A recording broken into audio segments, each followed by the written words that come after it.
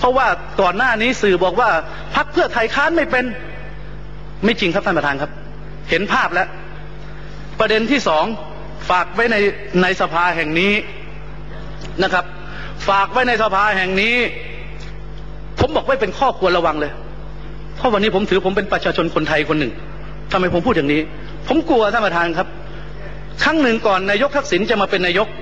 ประเทศไทยเป็นหนี้ IMF ไม่รู้เท่าไหร่ ทักษิณใช้เวลาสองปี ใช้หนี้ IMF กู้ประเทศคืนมาได้ วันนี้ผมฝากท่านประธานครับ ผมฝากข้อควรระวังไว้กับพี่น้องประชาชนคนไทยทั้งประเทศนะครับ ผมขอฝากว่าข้อควรระวังให้ประชาชนและนิติบุคคลทั่วโลก โดยเฉพาะสถาบันการเงินต่างๆ ได้ทราบและรับรู้ว่า อย่าได้ทำธุรกรรมการเงินใด ๆ กับรัฐบาลที่มีนายอภิสิทธิ์เป็นนายกรัฐมนตรี เพราะเป็นรัฐบาลที่มาอย่างไม่ชอบธรรม และไม่ได้แถลงนโยบายต่อรัฐสภา ตามเงื่อนไขที่รัฐธรรมนูญกำหนด จึงไม่ถือว่าเป็นตัวแทนของประชาชนชาวไทยทั้งประเทศ การกู้เงินกับต่างประเทศ ถ้ายังขืนทำก็ขอให้เป็นความรับผิดชอบของพรรคประชาธิปัตย์และหากพรรคเพื่อไทยกลับมาเป็นรัฐบาลอีกครั้ง จะไม่รับผิดชอบในนิติกรรมสัญญาใด ๆ ต่อหนี้สินที่รัฐบาลพรรคประชาธิปัตย์ทำไว้นี่ครับ ผมขอแถลงต่อรัฐสภาอันทรงเกียรติแห่งนี้ ทำไมผมแถลงตรงนี้ท่านประธานเพราะช่วงที่เขาแถลงผมไม่ได้มาโต้เลยหมดสิทธิ์วันนี้นะครับก็เลยต้องมาบอกท่านนายกว่าประเด็น SMS เนี่ยท่านตอบให้ดี เพราะพี่น้องประชาชนฟังอยู่ทั้งประเทศนะครับ คงจะไม่รบกวนเวลาของสภามากมาย เพราะวันนี้อยากจะเห็นท่านนายกกับคุณกรอนตอบ ตอบให้พี่น้องประชาชนภาคใต้ภาคเหนือภาคกลางภาคอีสาน ให้ชื่นใจว่าที่คุณส่ง SMS ไปเนี่ยถูกจริงหรือไม่ ถูกต้องหรือไม่ คุณทำไปเพื่ออะไรทำไปเพื่อหวังผลประโยชน์แค่การเอาชนะทางการเมืองใช่หรือไม่นะครับ ขอให้เอาข้อกฎหมายที่ผมส่งไปนะครับ ได้ฉายให้พี่น้องประชาชนทั้งประเทศเห็นนะครับว่า การผิดอยู่ตรงไหนนะครับ ขอขึ้นทบพอยท่านประธานครับ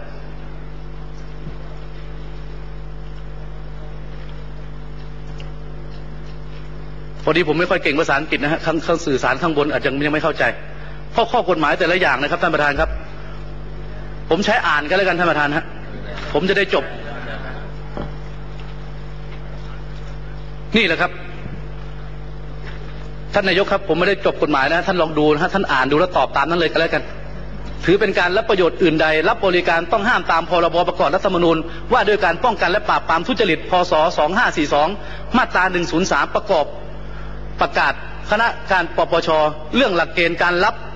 ทรัพย์สินหรือประโยชน์อื่นใด โดยจรรยาบรรณของเจ้าหน้าที่ของรัฐพศ 2543 ข้อ 4 มีความผิดตามมาตรา 122 แห่งพรบประกอบรัฐธรรมนูญว่าด้วยการป้องกันและปราบปรามทุจริตพศ 2542 โทษจำคุก 3 ปี หรือปรับไม่เกิน 50,000 บาท หรือทั้งจำทั้งปรับ นายอภิสิทธิ์ในฐานะนายกรัฐมนตรีใช้อำนาจในตำแหน่ง ขอให้บริษัทส่ง SMS ให้แก่ผู้ใช้บริการโทรศัพท์ ถือเป็นการแสวงหาผลประโยชน์โดยมิชอบ มีความผิดตามประมวลกฎหมายอาญามาตรา 157 จำคุกตั้งแต่ 1 ปีถึง 10 ปี หรือปรับตั้งแต่ 2,000 บาทถึง 20,000 บาท หรือทั้งจำทั้งปรับ โทรศัพท์เคลื่อนที่เป็นช่องทางการสื่อสารส่วนบุคคล การใช้โทรศัพท์จึงถือเป็นสิทธิในความเป็นอยู่ส่วนตัวตามรัฐธรรมนูญมาตรา 35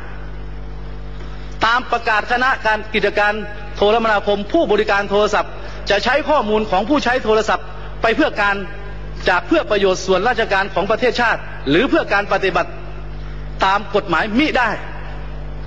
การที่ขอให้บริษัทส่งข้อความและที่บริษัทนำข้อมูลผู้ใช้บริการไปเพื่อประโยชน์ของนายอภิสิทธิ์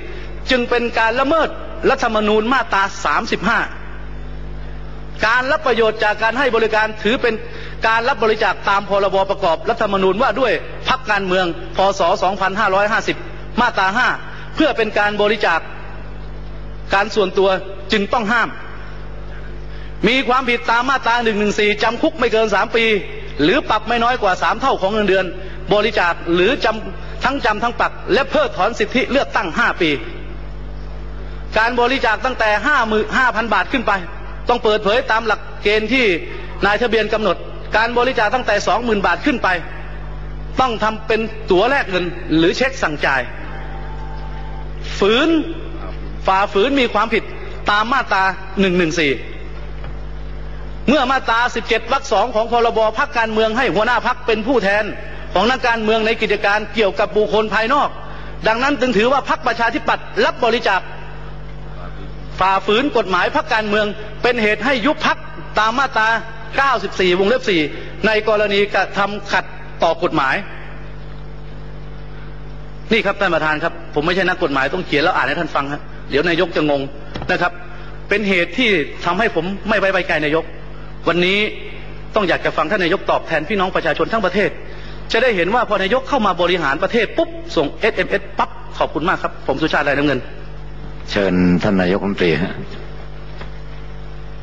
ท่านประธานที่เคารพกระผมนายพิสิทธิ์เวชชาชีวะ นายกรัฐมนตรี ประเด็นการส่งข้อความสั้นหรือ SMS เนี่ยผมอยากจะกราบเรียนในสิ่งที่เป็นความตั้งใจนะครับ แล้วก็หลังจากนั้นเนี่ยท่านรัฐมนตรีว่าการกระทรวงการคลัง ก่อนจติกวนิชเนี่ยจะเป็นผู้ให้รายละเอียดทางเทคนิคทั้งหมดกราบเรียนท่านประธานอย่างนี้ครับ วันที่ผมได้รับเลือกตั้งเข้ามาเป็นนายกรัฐมนตรี แล้วก็สถานการณ์ก่อนหน้านั้นเนี่ย ผมคิดว่าไม่มีใครในห้องประชุมเนี้ยกล้าปฏิเสธแล้วครับ ว่าบ้านเมืองนี่อยู่ในภาวะซึ่งมีความแตกแยกสูงมาก แล้วก็สิ่งที่เป็นความคาดหวังของพี่น้องประชาชน ไม่ว่าใครจะเข้ามาเป็นรัฐบาล ก็คือต้องหาแนวทางในการที่จะสร้างความสมานฉันท์ผมมีความคิดว่าทำอย่างไรจะสื่อสารไปถึงพี่น้องประชาชนให้มากที่สุด ในสิ่งที่ผมคิดว่าเป็นเพียงการเชิญชวนพี่น้องประชาชนเนี่ย ให้มาร่วมกันสมัครสมานสามัคคี แน่นอนที่สุดครับผมทราบดีว่าในบ้านเมืองนี้ ความคิดเห็นทางการเมืองเนี่ยมีความแตกต่าง มีความแตกแยกก็ว่าได้สูงพอสมควรเพราะผมก็ปรึกษาหารือกับทางท่านรัฐมนตรีกรนะครับ ซึ่งในขณะนั้นก็ไม่ได้มีตำแหน่ง แล้วก็ผู้ช่วยนะครับ หรือคนที่เป็นทีมงานของผม หลักการสำคัญก็คือว่า แน่นอนที่สุดครับการดำเนินการอะไรก็ตามเนี่ยต้องอยู่ภายใต้กฎหมายคำว่าภายใต้กฎหมายเนี่ยก็จะมีประเด็นที่ครอบคลุมทั้งในเรื่องของประโยชน์ แล้วก็ในเรื่องของสิทธิเสรีภาพ ฉะนั้นผมก็ได้กำชับว่าถ้าหากว่ามีการขอความร่วมมือนะครับ ก็จะต้องเป็นเรื่องที่ทางผม หรือผู้ที่เกี่ยวข้องเนี่ยไม่มีประโยชน์ ในเรื่องของการเงินหรืออะไรใด ๆ ทั้งสิ้น ขณะเดียวกันนะสิ่งที่ผมต้องการจะสื่อสารเนี่ยท่านประธานจะเห็นนะครับ เหมือนกับที่ผมใช้รายการเชื่อมั่นประเทศไทยทุกวันอาทิตย์เนี่ยผมได้ตั้งเป้าหมายไว้ชัดเจนว่า ผมไม่ใช้รายการหรือสื่อสารต่างๆ ของรัฐเนี่ยในลักษณะที่จะเป็นการใช้เป็นเครื่องมือทางการเมือง ผมจะชี้แจงเฉพาะเรื่องของปัญหาของประเทศ แนวทางการบริหาร และไม่มีการตอบโต้ในเรื่องของการเมืองใด ๆ ทั้งสิ้น แล้วก็ยึดถือปฏิบัติเช่นนี้ตลอดมา ซึ่งผมกล้าพูดได้ว่าแตกต่าง จากอดีตนายกรัฐมนตรีที่ใช้สื่อของรัฐในช่วงที่ผ่านมาอย่างชัดเจน ทีนี้ประเด็นที่ผมอยากจะกราบเรียนก็คือว่า พอเป็นกระบวนการของข้อความสั้นหรือ SMS แล้วเนี่ยนะครับท่านต้องไม่ไปปะปนกับเรื่องประโยชน์อื่นใดที่รับในเชิงของส่วนตัว ถ้าเป็นเรื่องของการส่งข้อความเพื่อประโยชน์ในเรื่องของการทำความเข้าใจในการบริหารราชการแผ่นดิน และเชิญชวนประชาชนเข้ามามีส่วนร่วม ถามว่าทำไมเราถึงได้ขอให้ตอบเป็นรหัสไปรษณีย์มา